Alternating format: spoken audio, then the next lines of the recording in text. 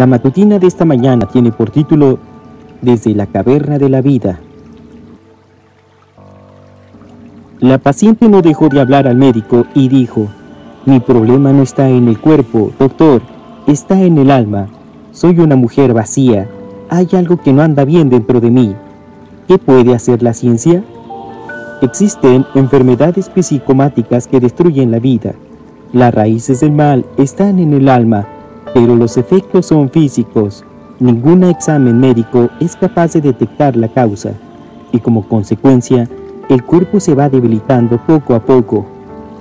En el versículo de hoy, el salmista habla de este tipo de mal. Saca mi alma de la cárcel, suplica el salmista. Algunas Biblias dicen lo siguiente en el sobrescrito de este salmo. Salmo didáctico de David, oración que hizo cuando estaba en la caverna. David estuvo escondido en cuevas en dos ocasiones, una cuando huyó de los filisteos y se escondió en la cueva de Adulam, y otra cuando tuvo la oportunidad de acabar con la vida de Saúl, en la cueva de Engaldi. Los eruditos no definen en cuál de las cavernas fue escrito este salmo, pero no importa en cuál haya sido escrito, metafóricamente el salmista se encontraba en la caverna de la vida, en esos momentos en que las sombras de las dificultades no le permiten ver un palmo adelante. David deja en claro que si el Señor lo libra de la cárcel de la depresión en que se encuentra, enaltecerá el nombre del Señor y los justos lo rodearán como si fuera una corona de victoria en su cabeza. Esa es la vida que Dios quiere que tú vivas.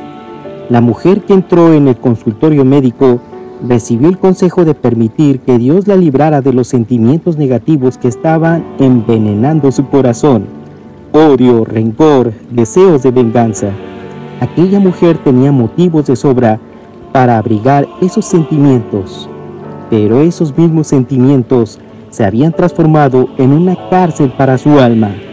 Cuando ella cambió esos sentimientos por el deseo de perdonar, comprender y amar, todo cambió en su atribulada vida. ¿Te sientes alguna vez prisionero de sentimientos negativos?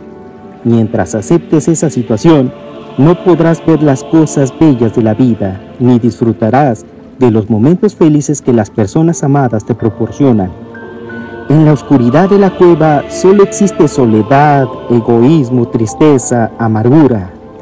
Por eso, la ama con Dios. Saca mi alma de la cárcel para que alabe tu nombre. Me rodearán los justos porque tú me serás propicio. Que tengan un excelente día, hermanos, y que Dios los bendiga enormemente.